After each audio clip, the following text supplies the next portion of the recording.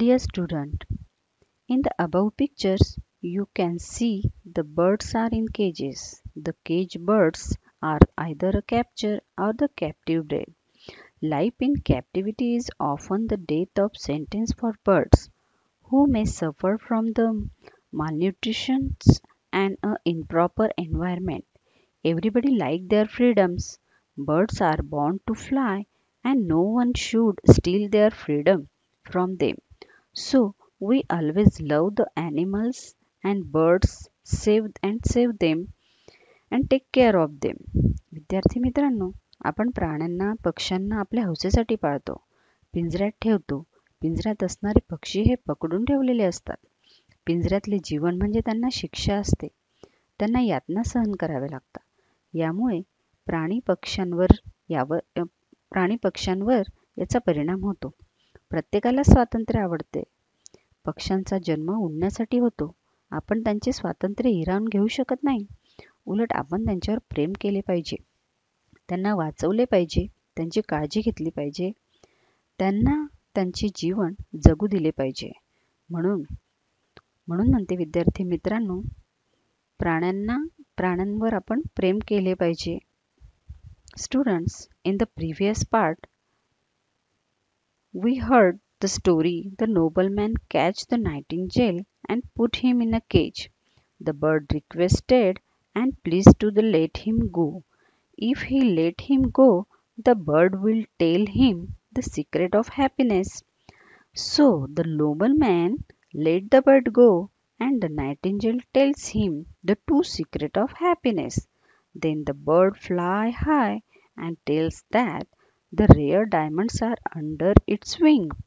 He won't get any of them. We will continue our lesson. First, I read the lesson. Now, the noble was really very angry and very unhappy. Oh no, how stupid of me! You wicked bird, you nasty bird. Wait till I catch you again. He began to wail. Don't be so upset, my lord, said the nightingale. It was the kind of you to let me go.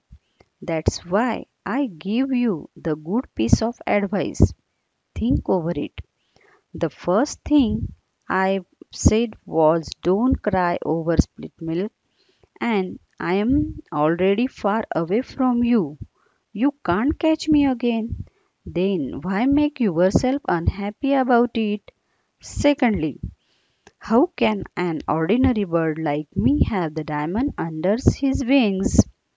Those were just idle words of mine. It's a mistake to trust such a word. Use my bits of advice and be happy. Farewell. The nobleman watched as the bird flew away. Now I explain the story. Now the nobleman was really angry and very unhappy. Bulbul पक्षी जो होता nobleman was really very angry and very unhappy सरदार जो होता तो आता खरंच खूप रागवलेला होता आणि दुःखी झाला होता. ओ no how stupid of me तो स्वतःला मूर्ख म्हणू लागला की किती मूर्ख आहे मी? You wicked bird you nasty bird wait till I catch you again he began to wail तो त्या पक्षावर खूप रागवला होता आणि तो म्हणू लागला की अरे अरे दृष्ट पक्षा विकेट विकेट म्हणजे दृष्ट. अरे दृष्ट पक्षा यू नॅस्टी बर्ड नॅस्टी म्हणजे घाणेरडे. म्हणजेच you wicked bird you nasty bird तू मु तू दृष्ट पक्षा घाणेरड्या पक्षा वेट थांब till I catch you again मी तुला पुन्हा पकडतो. असं म्हणून तो आक्रोश करू लागला संताप करू लागला. कारण काय? तर त्याला वाटत होतं सरदारला वाटत होतं की पक्ष आपल्यासोबत खोटं बोललं आहे आणि आपली फसवणूक करून गोड बोलून उडून गेला आहे. आपल्या हातून पक्षीही गेला आणि हिरे पण गेले.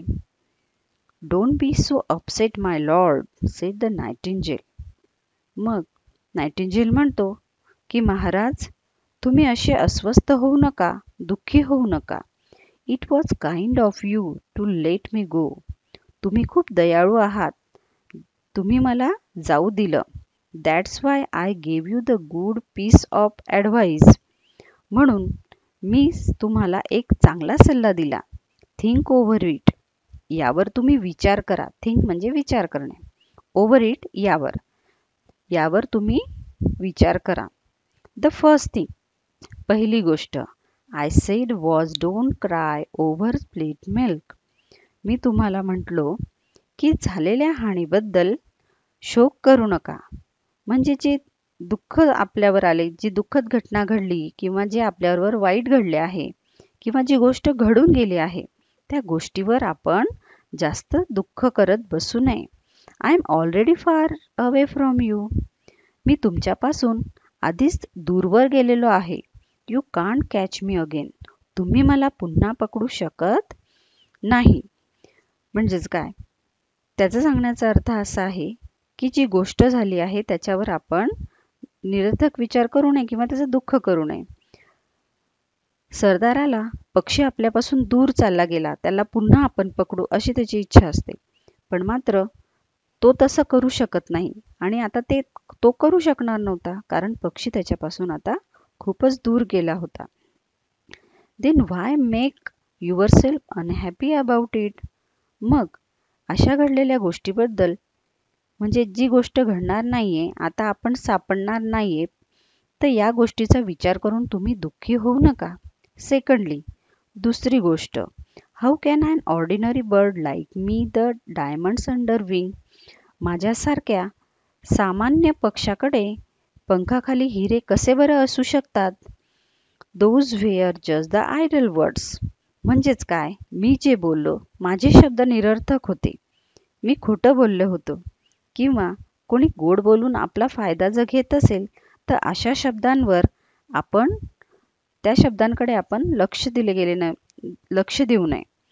That it's it is the mistake to trust such word अशा शब्दांवर विश्वास ठेवणे हे चुकीचे आहे. Use my bits of advice and be happy माझ्या या सल्ल्यांवर मी दिलेल्या सल्ल्यांवर तुम्ही प्रत्यक्षात आणा.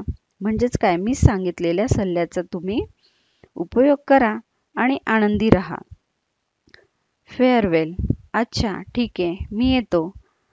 The noble man watch as the bird flew असं म्हणून तो पक्षी उडाला आणि त्या उडणाऱ्या पक्षाकडे जाणाऱ्या पक्षाकडे सरदार बघतच राहिला. आता विद्यार्थी मित्रांनो याच्यामध्ये काही शब्द आलेले आहेत. Now I introduce to you the unfamiliar word नवीन आलेले शब्द. स्ट्युपिड मूर्ख. विकेड म्हणजे दृष्ट. नॅस्टी घाणेरडा. वेल आक्रोश. माय लॉर्ड महाराज. ऑर्डिनरी सर्वसाधारण. मिस्टेक चूक फेअरवेल अच्छा येतो. थँक्यू